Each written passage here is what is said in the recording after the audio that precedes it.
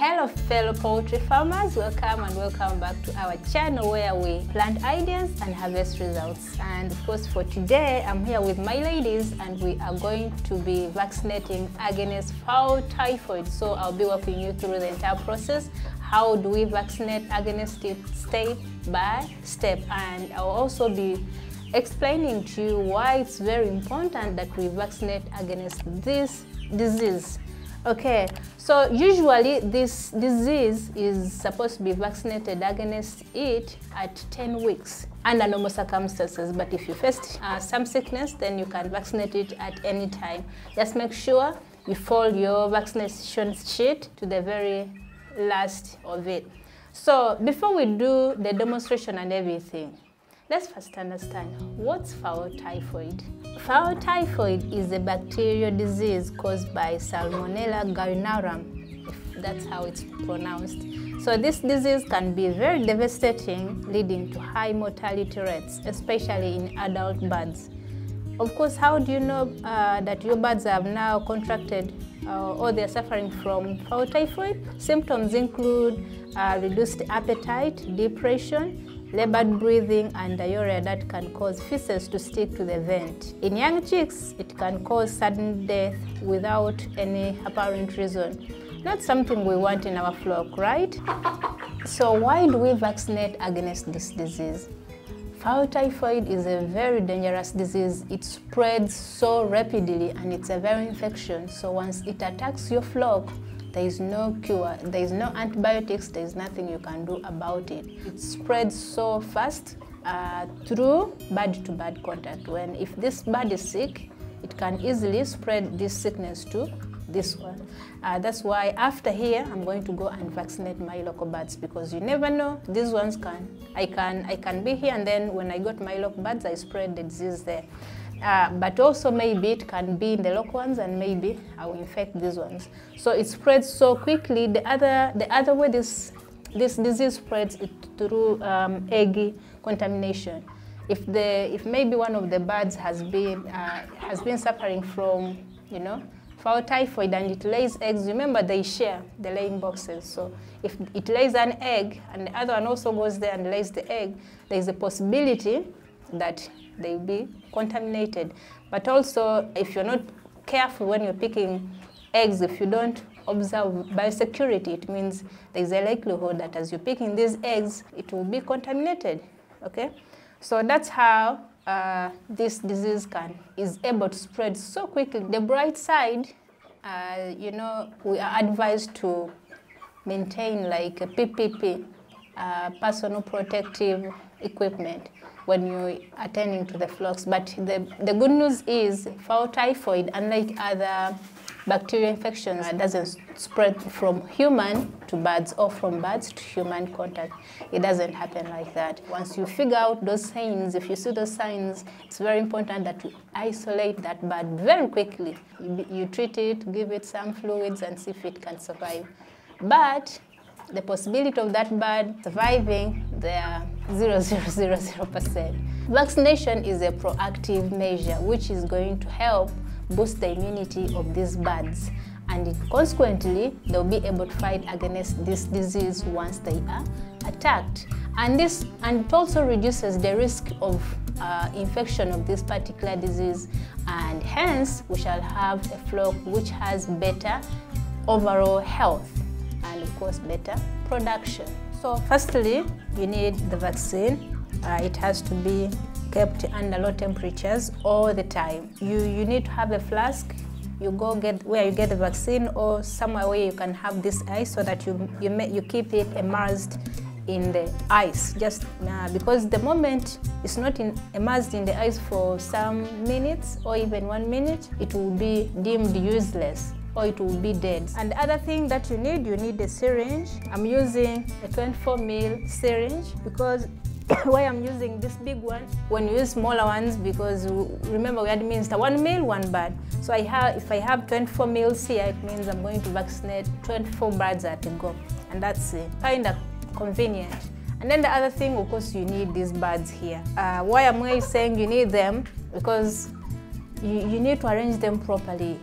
If you mixed up this one is vaccinated, this one is not. You need to prepare them very well. Prepare them in terms of uh, they should be on plain water 11, 11 hours before, you see, and 11 hours after. So you need them prepared and ready for the vaccine. The other thing, you need the gloves. If you don't have, like me, you, you, make sure your hands are very, very clean. Don't keep long nails. They might carry bacteria if you're a poultry farmer because all the time we are having our hands on our birds. Uh, the other thing, by the way, about the vaccine, we always have a vaccination sheet, right? That means before you even start vaccinating, you should be able to know the prices of those vaccines. You should be able to know where you're going to get those vaccines and I advise be getting the vaccines from one person. Don't switch places where you're going to be getting the vaccines. So make sure you, you get this entrusted one pharmacy. So what happened to me actually, why I'm saying that it's very important to know the prices of these vaccines Last time I was supposed to vaccinate against the mycoplasma, mycoplasma, mm, that you know that cough, that continuous persistent cough amongst birds. So I went to the, to the pharmacies. First of all, the vaccine wasn't there in most of the pharmacies. I found it at only one pharmacy. At, uh, and on, at this pharmacy, they were saying 400,000 Uganda shillings. So I was so disappointed and I felt a little embarrassed. But it didn't stop there. This time I went back for fowl typhoid. I hadn't asked about the prices. So I went with very little money.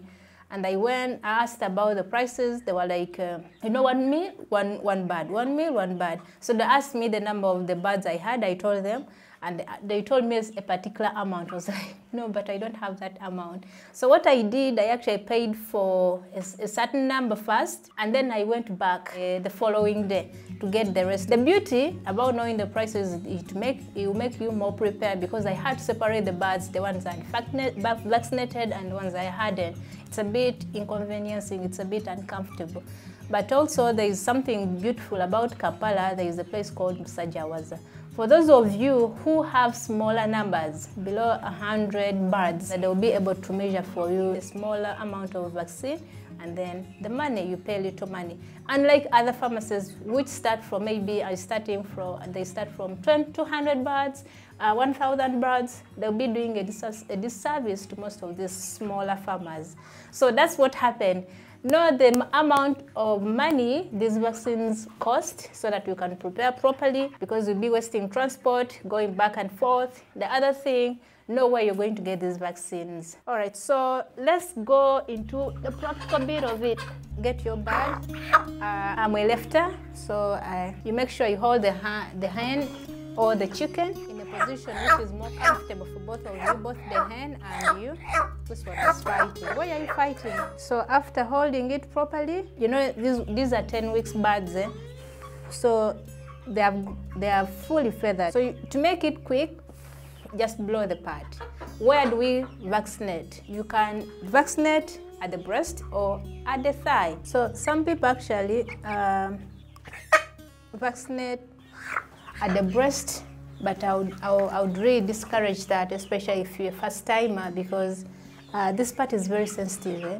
It's where most of the organs, like most sensitive organs, are found. So what if you make a mistake and you injure the bird's organs? You're going to lose them. So I, if you are a beginner, I prefer you, you, you vaccinate at, at the thigh because there is less risk there.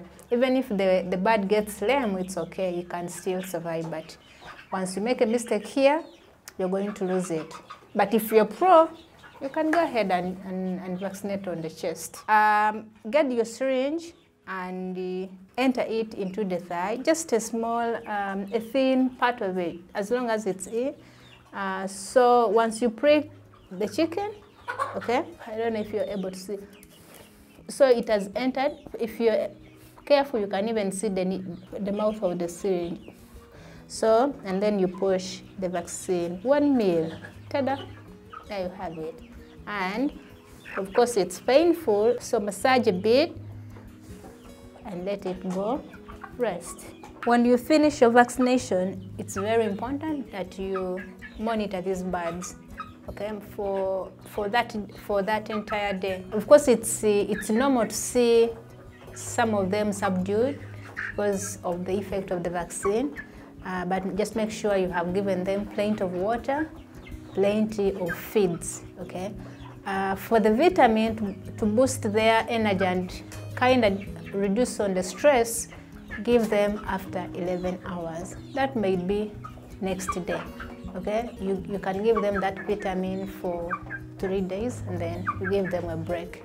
Vaccinating against fowl typhoid is a straightforward process and of course vaccinating against, uh, your birds against it is one way of uh, giving them like another layer of immunity.